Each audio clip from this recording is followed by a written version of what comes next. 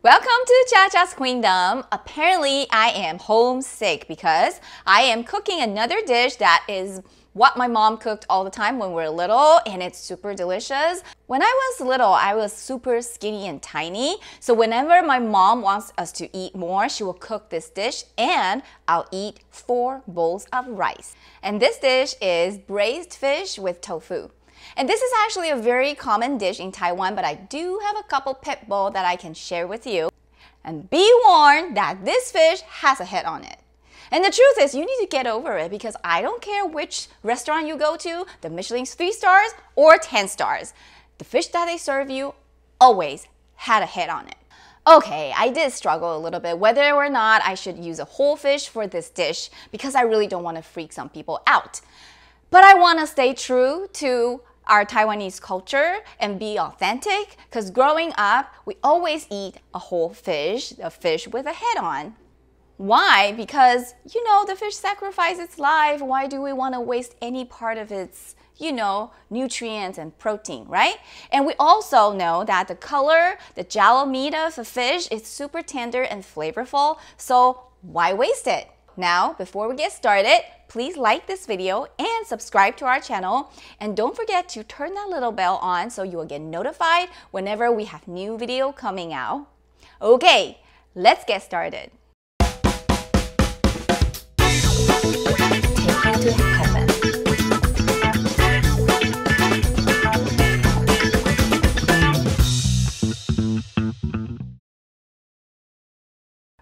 Simple ingredients here. Uh, the green onions and ginger, these two are standard for almost all the Chinese seafood recipes. And garlic and I do have a special way to prepare the garlic some rock sugar and the tilapia fish which is easy to find in the US and if you can I would say for seafood you always go for the fresh and the live seafood. Tofu as you can see I already soak it in the salted water and this way, the tofu will not break apart easily and also will absorb the flavor better when you're cooking it because this dish is not to be cooked for a long time. So we want to do that so that tofu can absorb the flavor better. And soy sauce, as you know, braising, again, soy sauce is important. So if you want to know where you can get the same soy sauce that I use, I'll include the link below. And Taiwanese rice wine with no salt in there. Uh, if you can't find this kind, you can go ahead and use some Japanese dry sake and some oil, and that's it.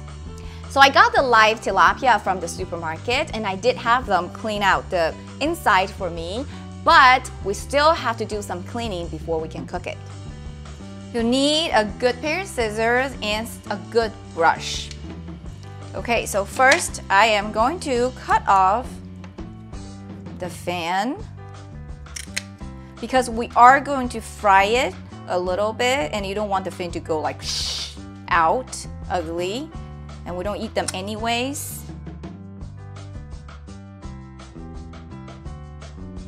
Okay, now the most important thing is inside sometimes they didn't cut it all the way open for you. You want to cut it open. Why? Because if you think sometimes the fish has like a fishy taste to it, it's because you didn't clean it well inside here. There's blood in the bones, in the spine, if you can see. Can you see here? We want to brush it. So you want to cut it open and then you want to brush that away and rinse away. And also here, there's like two line here, that tendon you want to cut it off because inside sometimes traps some uh, blood as well. And now cold water and you just brush it away.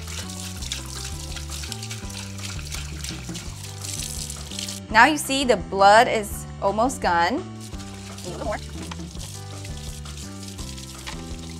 Now our fish is clean and will be delicious. Look how clean. Now the fish is cleaned, let's get the rest of the ingredients ready. So first, we're gonna need green onions. You don't need fancy cut, just kind of cut in half. And I like to cut in lengthwise so inside the flavor can come out to enhance the um, flavor and infuse the oil better. So I cut it like this, and you just need a few slices of ginger.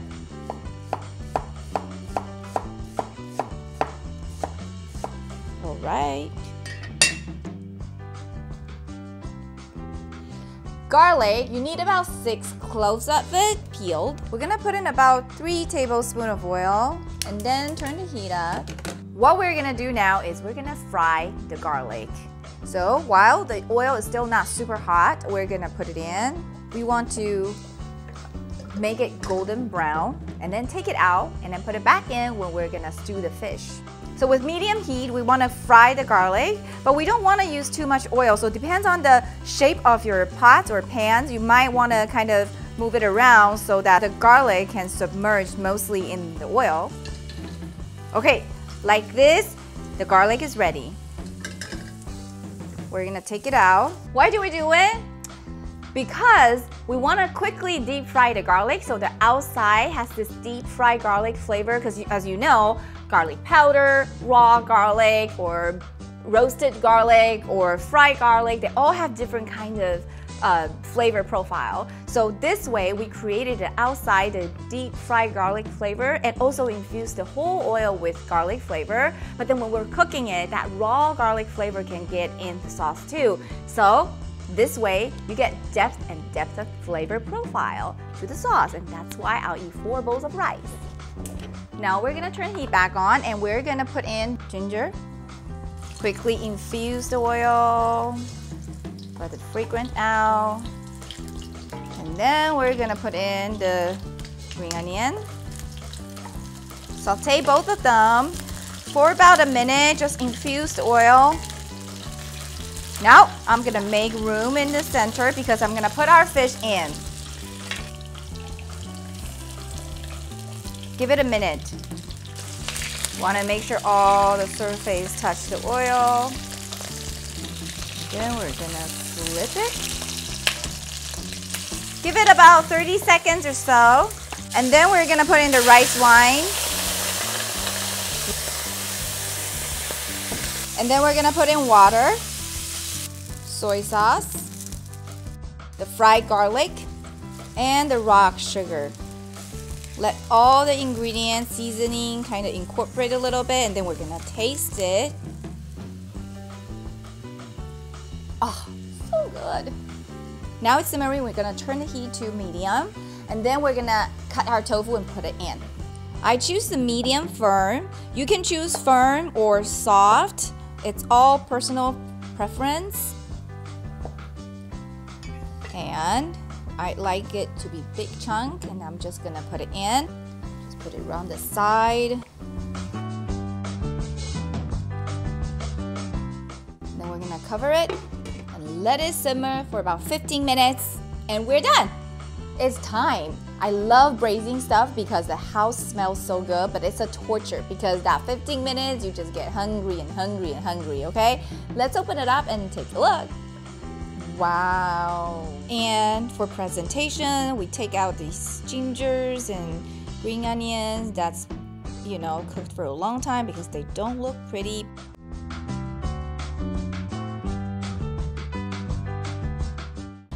let's dig in.